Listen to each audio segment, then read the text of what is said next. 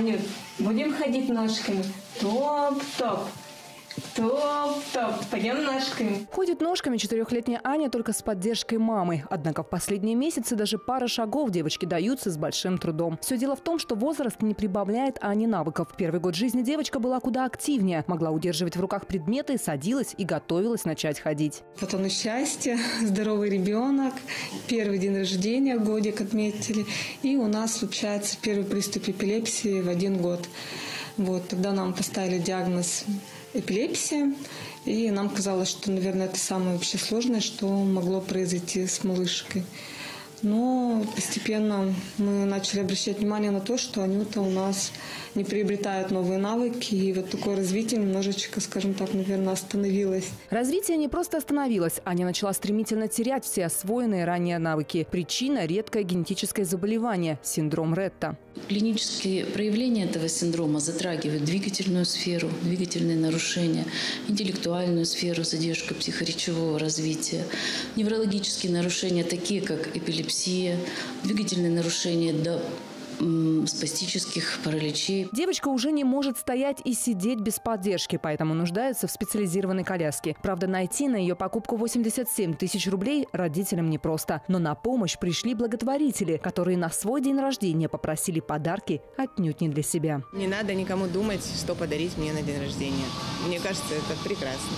Мы выбираем ребенка, анонсируем это, и люди вместо цветов помогают э, собрать нужную сумму для нужд э, того или иного выбранного нами подопечного. И подарков в этот благотворительный день рождения было так много, что оказать поддержку удалось сразу двум детям. У Ани совсем скоро появится новая коляска, а Лада Долгополова, которой недавно медики восстановили слух, сможет посещать логопедический центр. У нас два речевых процессора. Одно у нас правое, это ему уже почти два года, а это в декабре а, левое ушко сделали. Ну а Саша Ковальчук из Барнаула еще продолжает мечтать. Больше всего на свете я мечтаю,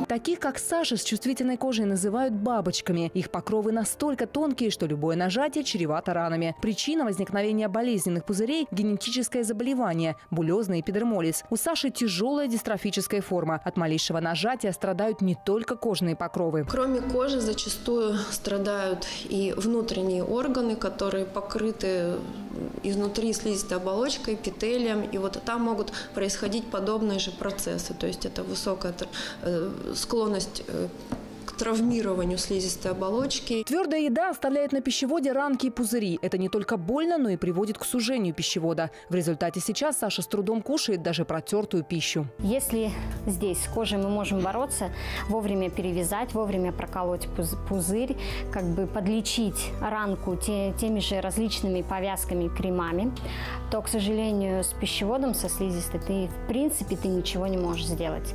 На данный момент еще нету такого средства, чтобы чтобы как бы облегчить состояние слизистой внутри. Помочь Саше могут немецкие врачи. Специалисты готовы провести операцию по расширению пищевода. Однако стоимость процедуры 1 миллион 938 тысяч рублей. Собрать всю сумму самостоятельно семья не в силах. Но сделать это можем мы вместе. Отправляя смс-сообщение со словом «чудо» и суммы пожертвования на номер 7878 или зайдя на сайт проекта www.helpdefischildren.net, вы жертвуете свои средства на помощь Саше и другим героям проекта «Ты ему нужен». Помогать легко. Сегодня Сегодня именно ты нужен, Саша Ковальчук.